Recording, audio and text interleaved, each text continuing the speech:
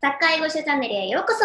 このチャンネルは中学生や大学生などの育成年代に今力を入れてらっしゃいます。名古屋 FC の監督尾崎さんと一緒に、えっと、サッカーの有識者にインタビューしていく番組となっております。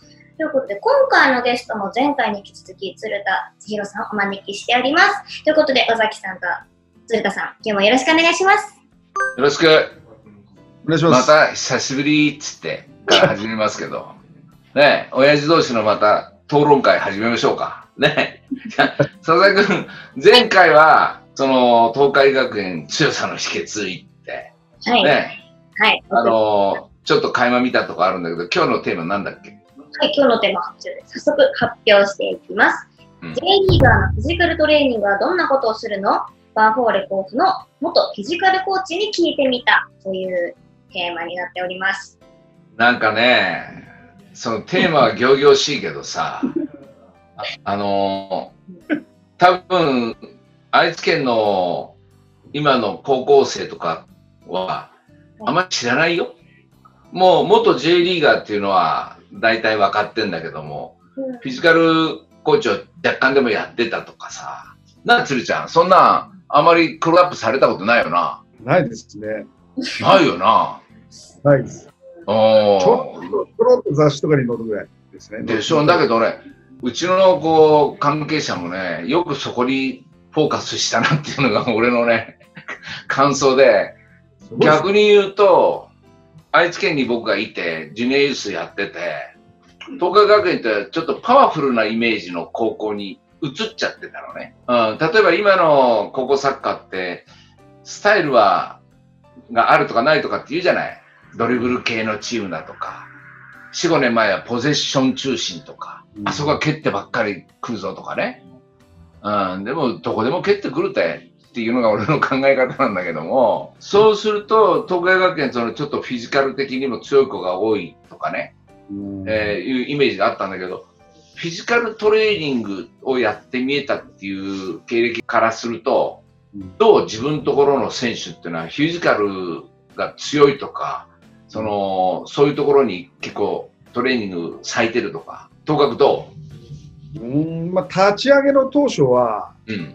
立ち上げですよね、その18、19年前の時は、フィジカル重視というか、まあ、体を鍛えるということは、うん。まあ、やった、やったですね、かなり。まあ、特にそうだよね走る走る走るという意味では。うんうんうんただもうそそれはその立ち上げなので、もう高校1年生から入ってくるので、うん。うん。まあまあ、なおかつ、その3年後には結果を出したいという思いもあり、うん。まあ、その走るとか、そういうチームの練習とかフィジカルっていうのは多かったですけど、うん。ただ年々年々こうやって人数が増えてきて、まあ、ある程度そのサッカーのレベルのそこそこの子がやっぱり入ってくるようになって、いい選手が入ってうくるようになっん。て、うん。そこは今重きに置いてますかって言ったら、その特別重きを置いてるわけではなくっていうところですね、今。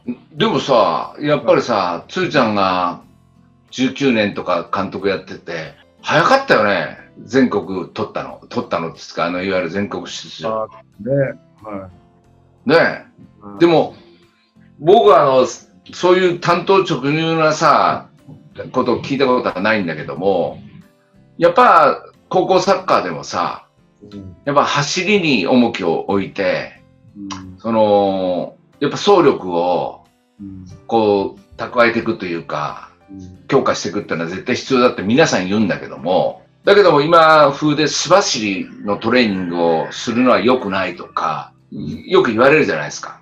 はいそうするとなんかそういう風潮が出てくると素走りやってると田舎臭いとか、まだあんなあの、そんなトレーニングしてるのとかってよく言うけど、その走力とか強化していくトレーニングってどういうのをベースにしてる？フィジカルトレーニングというか、走力。今今であれば、週の頭に持久走は、うん。まあでもやったとしても2.5キロ2セットとか、5キロ、5キロちょっとぐらいですね。タイム走やったりとか、ぐらいですね。あとはまあ雨の日にちょっとあの外周走るとか、うん。そういった程度で、それよりもその対人トレーニングの中で3対3とか4対う4、ん。そういうところで高める方が強いですね。そそこを継続して動き続けれる力っていうか。仲間を助け、まあ、さ前回のお話のその助け続けるとかね、仲間、うんうん。こういう動きがをやり続けるとか、今、今のボールが受け入れるのにはなぜ走らないんだとか、なるほどね。投球の仕方っていうのは多分してくると。でもね、やっぱりね、走力っていうのは誰も必要だっていうの。それこそあの、ずっと走り続ける、この間のうちのね、藤田由紀なんかも松本山雅のね、もうそうだけども、どこにでもいると。でもあいつの走力がすごいと。ね、じゃあ、素走りをやってきて、もちろんもう持って生まれたそういう心肺機能の高さっていうのもあるんだろうけども、ね、それと、つりちゃんが言う助け合いの気持ちが強かったんだろうっていうのと、でも、強化をしてトレーニングをしてって言ってきたときに、やっぱ走力と筋力ってのは絶対必要じゃんね。僕はだけど、素走りが良くないとかって、もうほとんどの人が言うから、本当に100%素走りのトレーニングをしないっていう高校は、ほんのちょっと数えるほどあるの。だけど、素走りのトレーニングってのは必ずやってるのね。全くやってないところも実はいるんだけども、あるんだけども、あありますか？ん？あるんですか？やっぱりそういうところ。あるんですよ、多分ね。うん、どことは言わないけどね。J のクラブはどうなんですか？やるでしょ。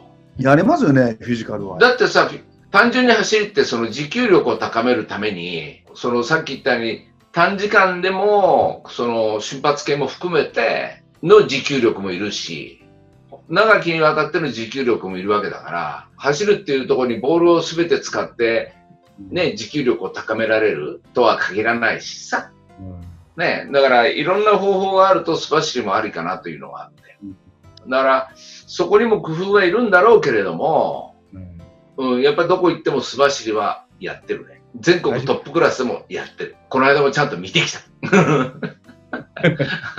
うん、でもまあまあ、本当に体力とか走力っていうのはいろんなシチュエーションによって全然ち心臓のこうね、使われ方とか肺の使われ方も違うから。でもその、それこそ自分がその J でフィジカルを若干見てた時代っていうのは、まだかなり古い話なんだろうけども、なんか変わったそういうフィジカルトレーニングっていうか、心肺機能を高めるので、なんかやった？うーん、まあ、400メートル走とか200メートル走インターバルとか、ああ。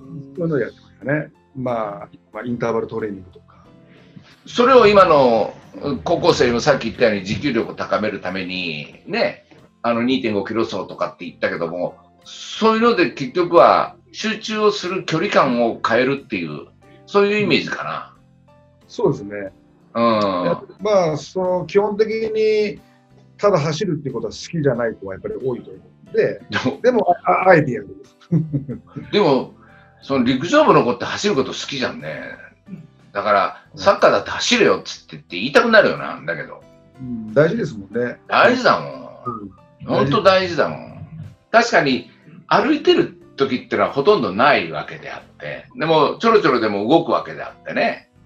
うん、まあ、そうするとこう、こういう強弱っていうのは必ずあるわけだから、強弱のをこう感じさせるトレーニングのメニューを多くしていくっていう。まあこれが必要なのかなって僕は中学生年代は特に思うけどね。うん、ここでも一緒かな。でも今日は火曜日だから、うちなんか素走りですよ、素走り。ど どっちですか？大学ですか？大学、大学。大学ね。そうそうそうそうそうそう。まあだからまあ、そういうことを考えると、まあオーソドックスというか、走りのトレーニングって誰もが嫌なんだろうけども、それをいかに楽しくさせるかとか必要性があるかっていうことを解いていくっていうことは結局、あの考え方のしっかり持たせるっていうことになるわけだから。あと、あれ、あっちはどうなの？あの、筋力系のところはどうですか？高校ですか？今ですか？高校。まず昔のその、あ J, J を見てた時の、ああそういう話も聞きたいっていう今日はテーマだもんだから、うん、J のチームっていうのは、年はこっち置いといて、はいプロフェッショナルだから完成系の子がいるわけじゃんね。そうですね。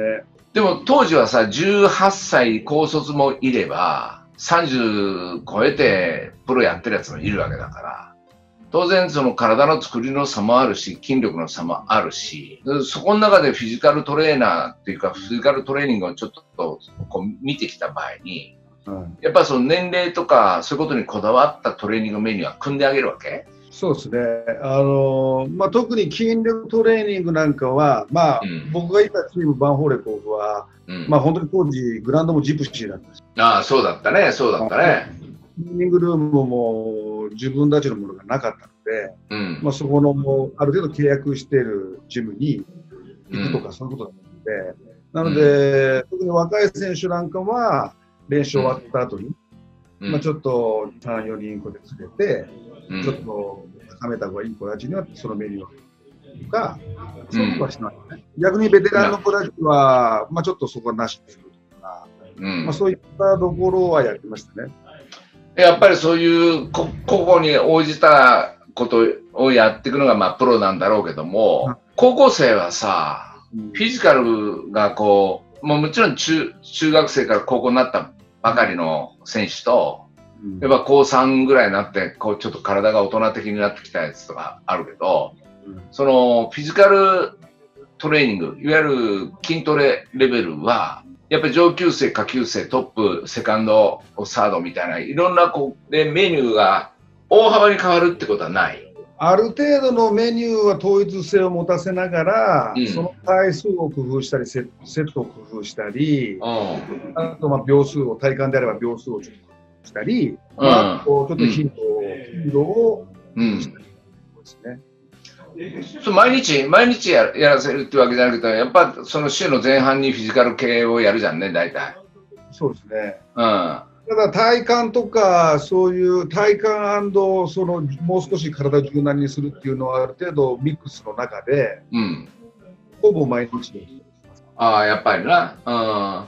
うん。でもさ、本当さ、高校生もそうだけど、中学生もそうだけど、うんその、年齢差っていうよりも個人差大きいじゃない？大きいですね。ねえ。大きいです。食事はどうよ？食事。食事は全然、全然というか、もう各各自各家庭。やっぱりそこに行き着くわな。まあ、ここもね、うんその、やっぱ全国津々浦々情報収集をすると、そこにも差があるのかもしれない。やっぱ家庭も含めたその食事管理、えーのところを促していくとか、やっぱそこもね、結構ね、やってるところはやっぱあるね。その毎年その夏ぐらいに大体栄養士を呼んであのふふあの保護者向けの栄養講習会をやったりとか、うんまあ、そういうことはやったりしてますけど、うん。うんうんあのまあ家庭で夏はこういうものを食べた方がいいですよとか、うん。うん。まあ、夏バテしないためにはとか、うん。あとは、まあ、今は選手がトレーニング終わったらコンビニとか行くので、うん。コンビニで練習終わった後こういうものをちょっとあの食べた方がいいですよとか、そういうアドバイスをしてもらうとか。だって、尾崎さんね、名古屋市23年ぐらいになるけど、初年度から行ってたよね。20年以上前から、お母さんお母さん行って、コンビニの経営者いますかって言って、まずちょっと気を使いながら、コンビニの弁当を食べさせちゃダメだっつって言って、結構促してきた。だ結局、お母さんが料理してお弁当持たせてっていうのがベースであった方がいいに決まっとるじゃんね。油の使い方までうるさく言ってきたよね。そうなんですか？そう。だからそういうことを今思って、そういうのを全国の高校に行って、こんなやことやってきた、あんなことやってきたって言って、もちろんできるできないってのはあるじゃない。ね、できるできないっていうのは、その家庭の環境も含めてお、お父さんやお母さんのその子供に対するスポーツに関する考え方とかいろいろあるから難しいんだけども、そういう意識改革もやってきた。で、それはね、僕自分、自分でもうこう二十何年経っていくと、結構そういう気遣いをしてきたんだな。で、今の高校の監督さんとかに今みたいな話を聞くと、同じようなことで苦労しとるなと。ね。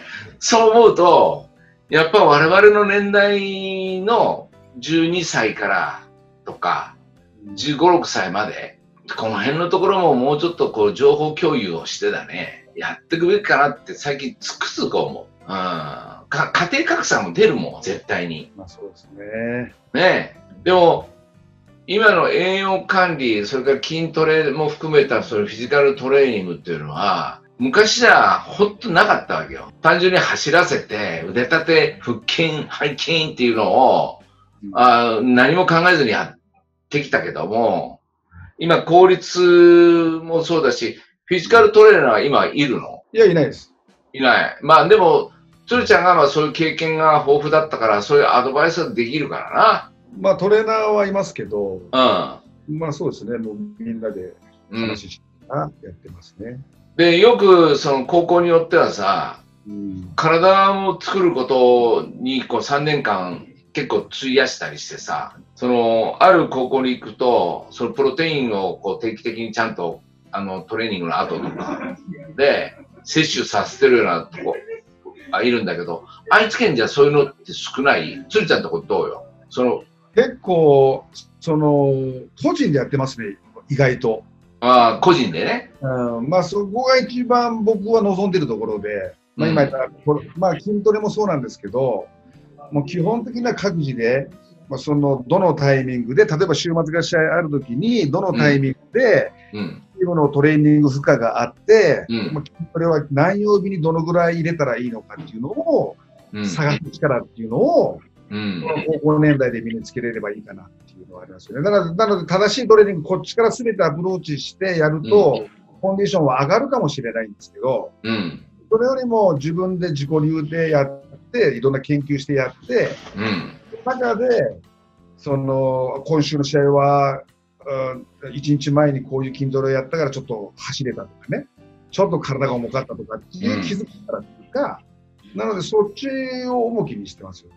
やるじゃん。なかなか。鶴ちゃんらしからぬ今の意見だな、俺は。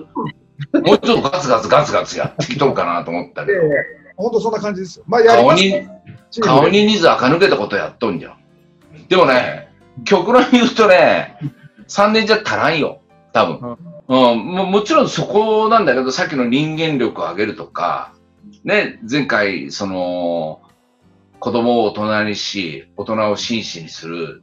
ね、一番早いのは、中学生だろうが高校生だろうが、大人の考え方で自分のために、チームのために、助け合いのために、僕は今これをやるべきだから、やらなくちゃいけない、やりましょうっていう風じゃんね。それをね、僕らジュニアユースからやってきて、少しはベースを持ったやつが高校に行って、それをさらに磨きをかけるっていう、6年間の、尾崎の考え方で言うと、中高一貫ってやつだ。うんな、その中高一貫っていうのは考え方の6年間っていう中高一貫を僕はやってるつもりなんで鶴ちゃんのとこに行こうが、どこどこに行こうが、ね、そこの監督さんとコミュニケーション取りながら、こういう考え方で3年間やったから、こういう考え方も3年間そっちでも続けてねっていう中高一貫をやってきとるじゃんね。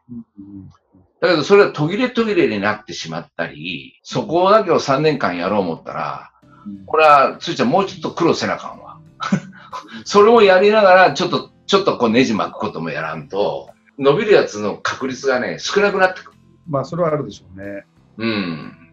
俺はもう、やっぱ鶴ちゃんのイメージ言ったらもうガンガンやってくっつって、でも愛知県はそのガンガンやることもね、少ないし、まあ、ガンガンやるって言って、やっぱりその、もうちょっと今言ったように欲張って要求していった方がいいかもしれん。うんその実践を重んじたり自立とか自己管理とか自ら考えてやってくるっていうのはいいに決まってんだけどもちょっとそれをね、あのー後押しするエネルギーがもうちょっとあったらいいかもしれない。さらに強くなる。徳川学園がガンと突き抜ける。だって俺思うけど鶴ちゃんとこぐらいしかないんちゃうの？まあまあ最近ちょっとね いろんな高校がいろんなことあのやり始めたからまた図式も変わってくるんだろうけども。俺はやっぱ鶴ちゃん19年やってあと10年。もう一花咲かせないかなんかテーマとはほど遠いところにまた来たけどさでも最終的にはさエゴイストチャンネルだから俺エゴやるけど愛知県がそのこうなんとなくこう煮え切らない中途半端さがある。これね、関東、関西に比べると、人口の、サッカー人口の少なさもそうだし、学校の、その、サッカー部というかスポーツに、こう、ね、前回もあったように、バックアップする体制とかも、ある意味中途半端だし、非常に難しい地域であることは間違いないんだけども、なんかそこでちょっと、もうちょっとこのコロナを機にね、愛知県伸びてほしいな。ちょっと愛知県盛り上げるためになんか、あの、要求事があったら、ジュニアユースに、大崎さん行って、ジュニアユースもうちょっとこういうことややらせてよって言って、ちょっとテーマめっちゃ外れるけど、フィジカル系のテーマだけども、どう？なんかない？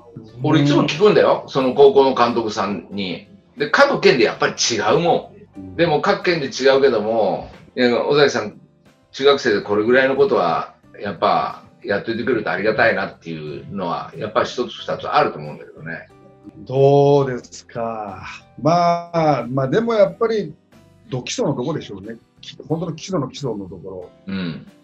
まあ、止めていくと、あとは、1対1のその奪い合い、ボールの奪い合い。なるほどね。うんあのね、一時それはね、ボールを奪うなっていうようなし10年ぐらい前にあったのよ。飛び込むなとか。あったでしょ。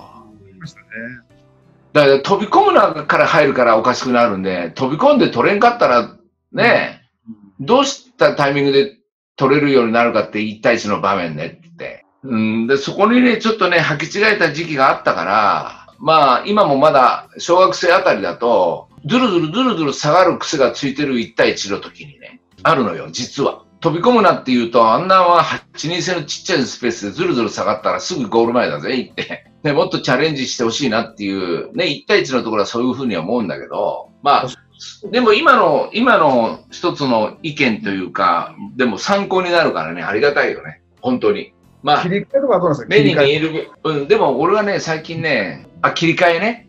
うんあ、切り替えはね、どこまで行ってもね、個人の、かあのー基準が違う。そこがもう当たり前に奪われたら別にストレスなく当たり前にボールを奪い返そうとする子。うん。それが少ない。取られたら取られたからほぼ入る。取られたから入る。ショックから入るから。ショックじゃなくてもすぐ奪いに行けよっていう。それね、俺はたまにこういう表現するんだけど、お前さ、今の状態でさ、あ、しまったなっていうのに0.8秒ぐらいかかっとるぞと。その0.8秒なかったら、次の奪い返しにプレーで、シュートは打たれんかったぞ。せめてシュートブロックのところに入れるぞっていう、その0.8秒という表現を俺はするんだけども、それはだいたい0.3秒ぐらいにななってきても0.3秒って言うんだけど、確かにその切り替えっていう言葉は浸透してるんだけど、とにかく行動には遅い。まあ、それは大事なことだけど、切り替えっていう言葉だけとか、ね、言葉が先行するケース多いじゃんね。そそのまあさっきの、大体そこですね、高校入って、まず、もう差があるのは、圧倒的な差は、うんその切り替えの速さ、もうとにかくもうね、そこに特化してる高校はあるもん。僕はこの間、鶴ちゃんは知ってるけど、某高校に行ったっていう話はね、見たけど、練習を。俺は違うもん。そこのところも。その、切り替えの速さは、ああれが全国トップクラスかなと。あれを例えば愛知県の高校のお選手、生徒だな、が見たら、自分らの切り替えはどれだけ遅いか。とか、3対3とか5対5とかのポゼッションのトレーニングの中でも、もう本当に戦いだなというね。これは鶴ちゃんらで話する。でもこれ、あれか配信されたらみんな聞いちまうか。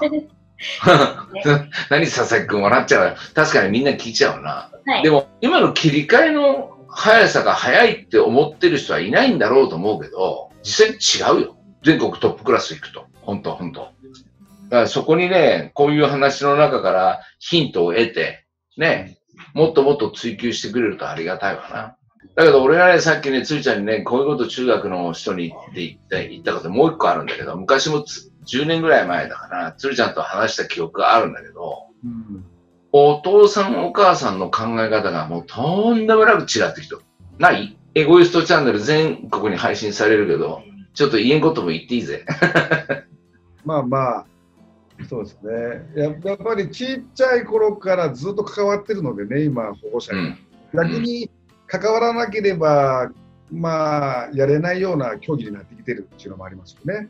まあ確かにね。かクラブで。なので余計そういうね、あの子供に対してっていう愛情があるとは思うんですけど、うん。俺、今、佐々木君、今のあの、へっへっへっていう笑いで、あの、鶴田監督のご苦労が 手に取るように俺はわかるんだけど、絶対そうだよな。だって、あの、もう今、高校生の親御さん、これテーマとは全く違うけど、愛知県だでこれをテーマにしたいぐらいなんだけど、高校生の親御さんって鶴ちゃんたちぐらい。いや、もう僕が上になっちゃってますね。そうでしょ？そうでしょ、うん、そうするともっと分かってくるでしょ？そうね、あの、この親御さんの関わり方とか考え方とか、いわゆる僕らはある程度アスリートも育てたい、アスリートにさせたい。っていう目論見みもあるし、鶴ちゃんの魂絆じゃないけども、その人間力アップとか、いうことになると、そこはちょっと違うよお父さん、そこはちょっと違うよお母さんっていうのはあるよね。だから、それを言える年にはなってきたわけだからさ、まあ学校教育の中だから非常に難しいとは思うけどね、それをね、やっぱね、やってほしいよね。学校の先生の立場にいるような部活動の監督さんでもね、うん、そこはね、やっぱり愛知県に限らずだとは思うけども、愛知県なんか特にそういうちょっとこう、歪んだ考え方のこの放射さんもいっぱいで、僕なんかいつもガーンってやっちゃうからね。でもジュニアユース。でも最近それやりすぎて、ちょっとついてこない人もおるから気をつけなか。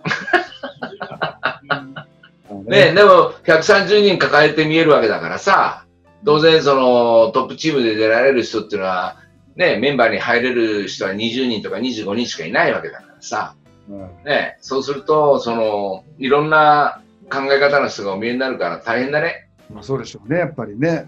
うん。まあいろいろ考え方もありますしね。まあそれそれはもうみんながみんなその満足するわけではないと思うので。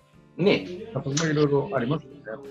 まあだけど、前回も今回もまあ、鶴ちゃんがこう、柱として指導理念というかさ、いうのがある程度こう、俺なんかとフェースも合ってるしさ、それについてはちょっと安心したな。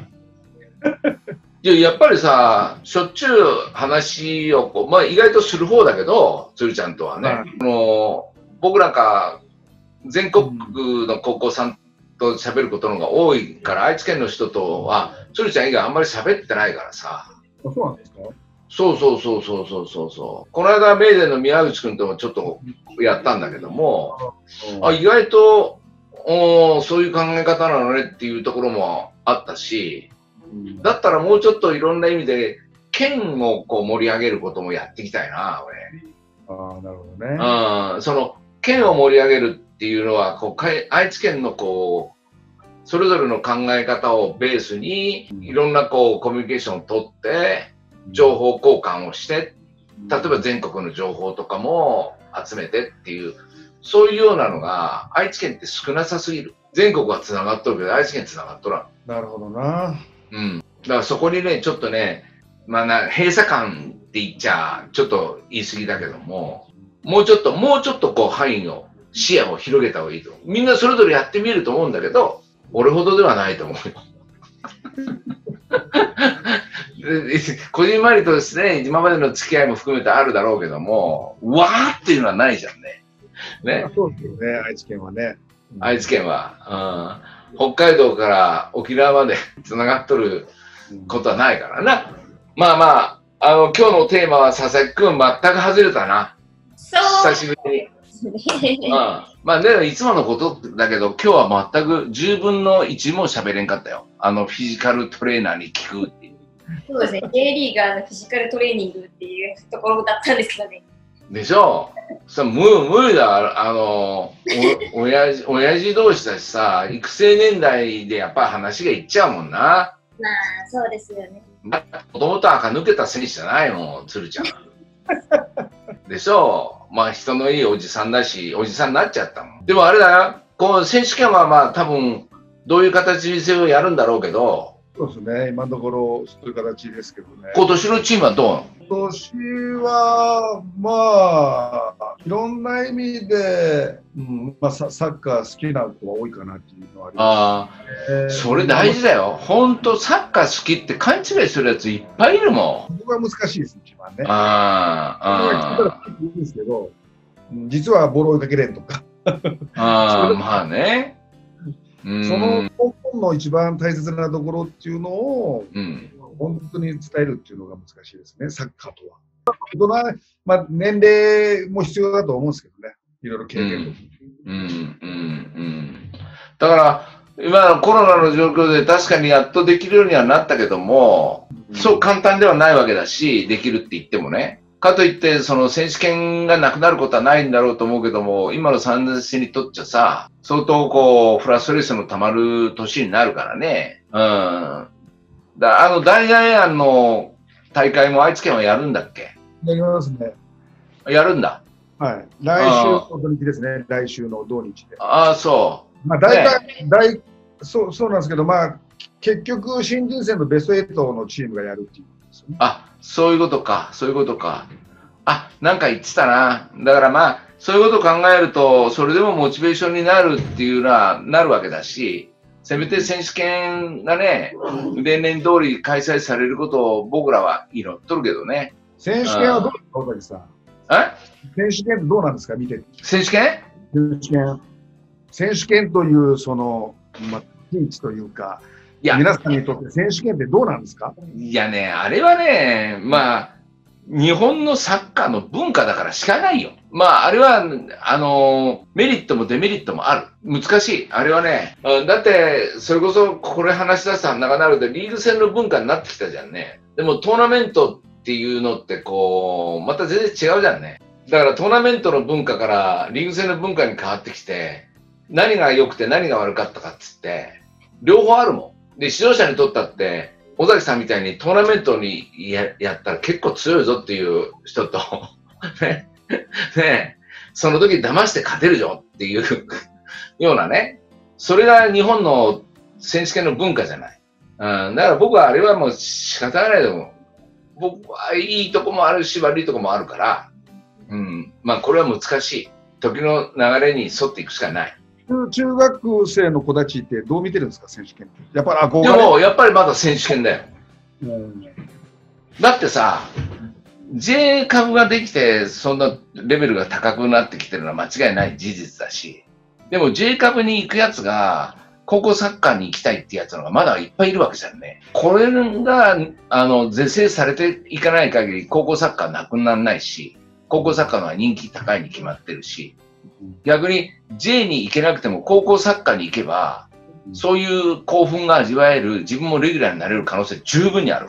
でしょ？そしたら、サッカーって難しいじゃない。その、うまいっていう、俗に言われる選手は J カップにいっぱい集まってるけども、強いだけとか、1対1じゃ絶対負けないとかさ、そういうフィジカルが強いだけってやつは J カップには意外と少ないじゃない。うまさがない。そうすると高校サッカーはいろんな意味でこう、ね、特徴のあるやつが集まれるじゃん。まあ、鶴ちゃんがあと10年監督やってよ、ようやく変わるか変わらんかだ。その時は尾崎さんはさよならーいって、もうその辺で つついとる。その頃は鶴ちゃんの課題、尾崎の課題じゃないんで。佐々木くんごめん。全くもって今日は話が飛んだ。そうで、ちょっと飛んでまあ、しまあ、しゃあない、しゃあない。まあ、あのー、鶴ちゃんとはそういうつながりだから、まあ、本音のトークをしてしまったんで、ああ、出ちゃったの。今日はあの、時間もかなり過ぎちゃったんで。あ、鶴ちゃんごめんごめん。あの、話変わったけど、また今度飯食いながらゆっくりやりましょぜひぜひ、う。お願いねします。はい。今日はありがとうございました。顔出します、また。あブランド顔の出しますわ。うん。佐々木くんまとめて、はい。